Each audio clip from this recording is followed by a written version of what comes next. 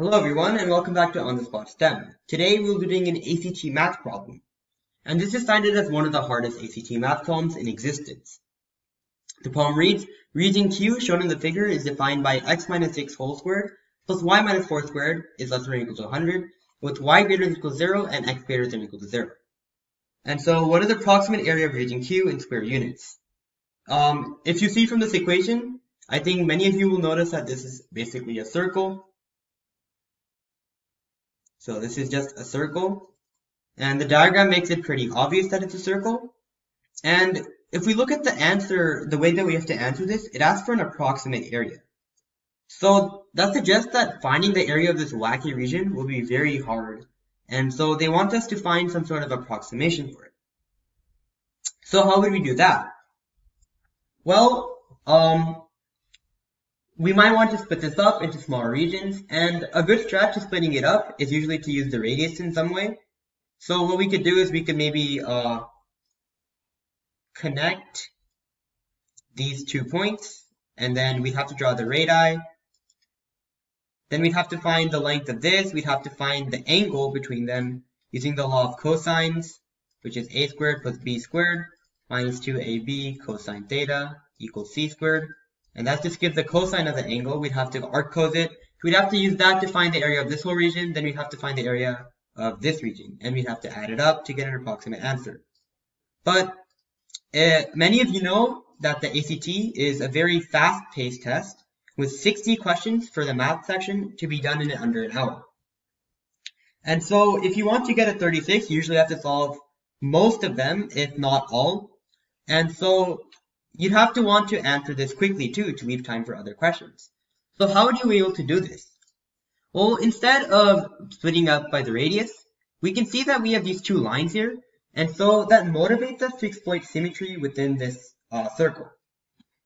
And so we see that these two regions are both by a circular arc and two lines, while this region is two lines and another circular arc. And so we essentially want to use these kinds of uh, places to break up the part over here into these places.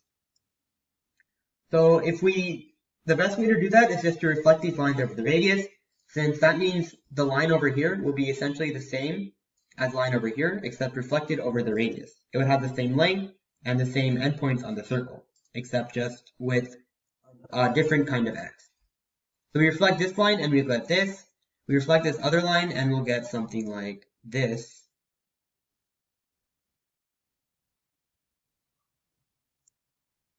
And so now what we found is that we basically created this Q region is split up into three rectangles, which are this, this, and this.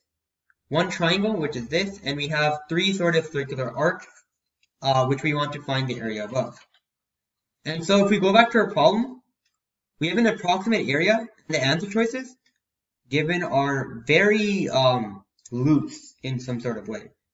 What this means is that they go up by 50 each time.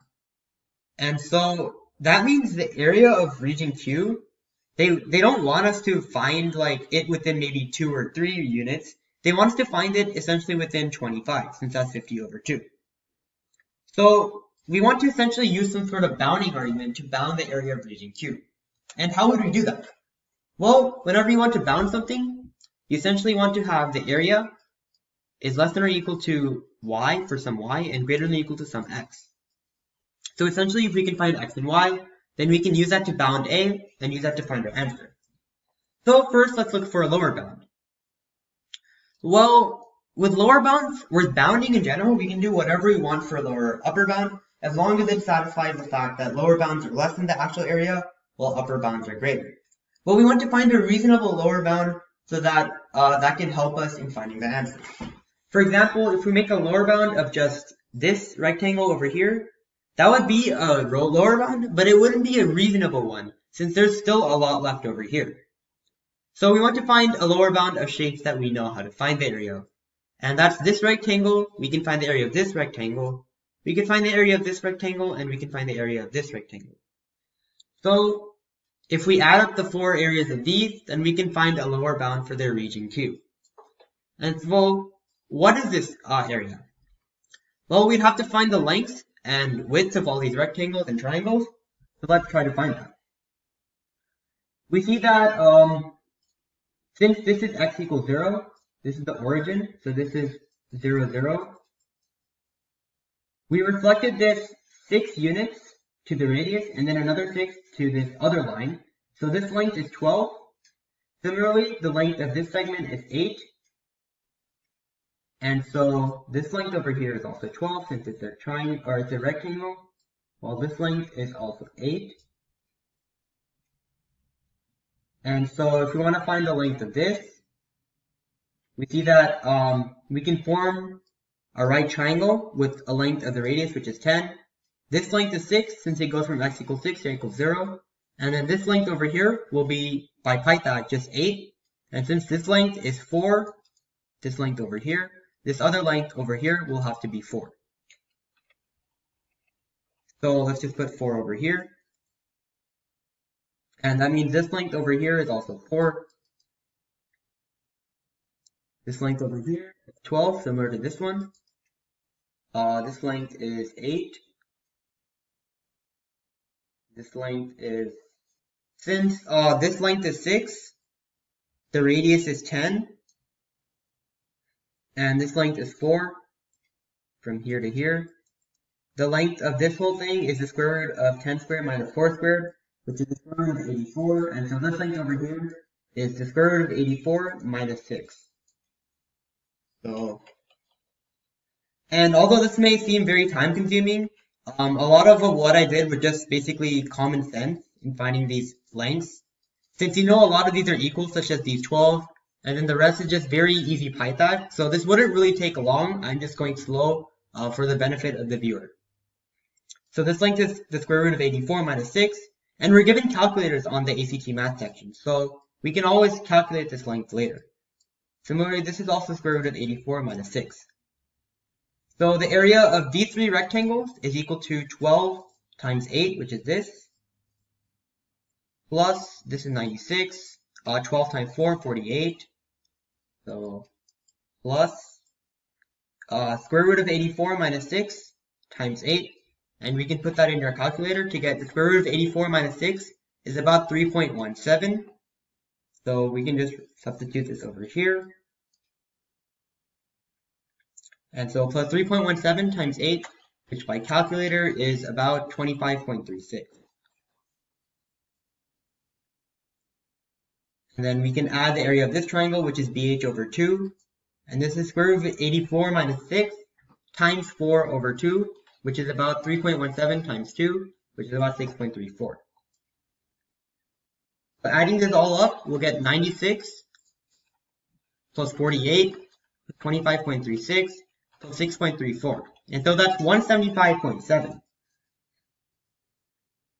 And thus, 175.7 is a lower bound for the area of the region. So we'll say x is equal to 175.7. Now it suffices to find y we have to find an upper bound of this.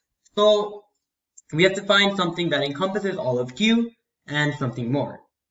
And a nice way to do this is to go back to our symmetry argument. We have two, we have one big region here, and then we have a small region here, we a triangle. So we can essentially kind of, what we did earlier, we can make rectangles like rectangles out, is a square, and we can extend this rectangle out for a very crude approximation. So these new lengths we have to recompute.